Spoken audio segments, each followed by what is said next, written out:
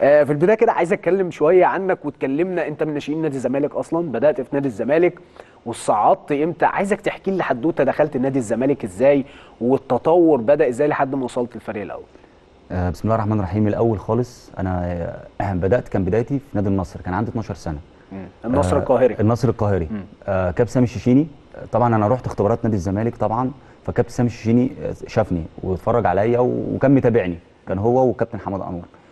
آه لعبت موسم واحد في نادي النصر. بعد كده كابتن سامي آه، شيشيني وكابتن حماد أنور آه جابوني من نادي النصر. يعني قعدوا مع الدكتور عمرو عبد الحق والموضوع خلص الحمد لله. وجيت نادي الزمالك 13 سنة. الحمد لله من أول ما دخلت نادي الزمالك الحمد لله آه، اتمرنت مع تحت قيادة مدربين كبار قوي قوي في نادي الزمالك. الحمد لله لعبت كل المراحل السنية اللي في النادي. آه، يمكن في سن 18 سنة كنت موجود مع الدرجة الأولى مع مستر كرول. قعدت موسمين مع الفريق الأول. الحمد لله كنت موجود. يعني يمكن ما شاركتش بس كنت دايما موجود على طول. آه الحمد لله في وقت من الأوقات آه قدرت كنت موجود مع جيل جيل عظيم يعني. آه كابتن حازم احكي لي الجيل بقى الجيل كله. لا، يعني كان حتى الجيل اللعيبة اللي لسه متصاعدين كانوا أيوة. جامدين آه يعني طبعاً. الله يرحمه الكابتن علاء علي طبعا. آه، كان الجيل برضه فيه آه، أحمد المرغني طبعا. واحد من النجوم برضه طبعا. اللي, اللي عملوا فترة مميزة جدا مع النادي كان في أكتر من لعيب اللي هو قبل ال... قبل الفترة بتاعه عمر جابر محمد إبراهيم حازم. إمام قبلهم بالظبط هي الفترة دي كنت موجود موسمين كاملين مع الفريق الأول آه الحمد لله كنت يعني من من اللعيبة المميزة اللي موجودة الحمد لله. آه كان معايا لعيبه لعيبة كبيرة متصاعدة معايا. كان معايا أحمد إبراهيم كان معايا مرغني كان معايا حازم. أحمد إبراهيم ال back left. ال back left طبعا. تقريبا أحمد إبراهيم لعب مباراة واحدة. أنا أيوة، أنا فاكره جدا. السويس. لا لعب طنطا. ولعب لعب طنطا أسمنت كمان. السويس ولعب طنطا آه، جاب جول. أيوه. ما شفتوش تاني. فين أحمد إبراهيم؟ فين في لعيبة كتيرة كانوا في الوقت ده أنت يمكن كملت و... ولعبت بعدها الجيش وكنت تمام. متميز في فريق الجيش في لعيبة كده فين أحمد إبراهيم مثلا. أحمد بص ال- الوقت ده كان اللعيبة اللي موجودة في الدرجة الأولى آه، كانت أسامي كبيرة وكانت لعيبة كويسة جدا جدا. الوقت ده الناشئ اللي كان بيطلع يلعب شوط واحد مش هقول لك مباراة واحدة كانت مصر أيوة. كلها بتعرفه. صح. آه كان جيل بقى كابتن حازم إمام لا وفي الناحية بتاعته كان طارق السيد كان في كان- كابتن أسامة حسن كان بالظبط موجود. بالظبط.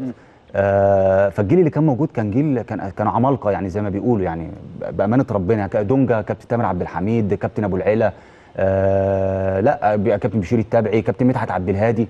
كان, كان في كان في نجوم ولكن هي كانت فترة صعبة قوي. بالظبط. على أي ناشئ. فترة صعبة اداريا بالظبط. على نادي الزمالك اللي هم العشر سنين اللي ما بين 2005 لحد بالظبط. 2014 أو تسع بالظبط. سنين.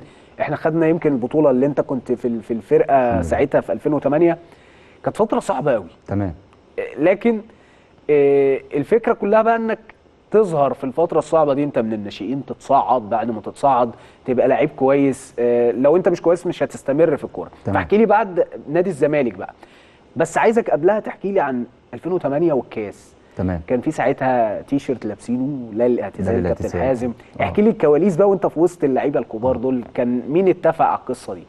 هو كابتن حازم آه كنا ماشيين في كاس مصر كويس جدا جدا الفترة دي. آه كان واخد قرار إن هو هيعتزل.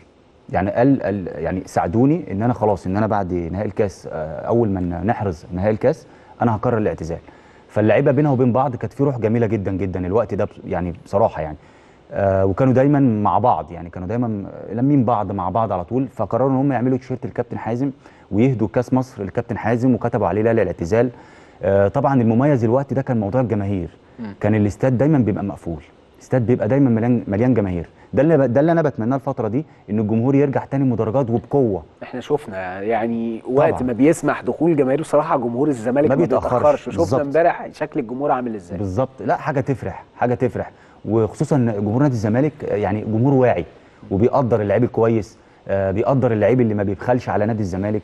آه، فالفترة دي لا كانت فترة مميزة قوي في حياتي كنت موجود مع نجوم كبار آه، لغاية النهارده دايما بفتكرهم بكل خير طبعا. كان أي ناشئ بيطلع كان التعامل معاه بمنتهى ال- الاحترافية. آه، بس يعني الحمد لله يعني ده طبعا ده نصيب الحمد لله. بعد كده رحت الجيش مع كابتن آه، فاروق جعفر ولعبت موسمين هناك. كانوا موسمين آه، ولا أروع يعني الحمد لله.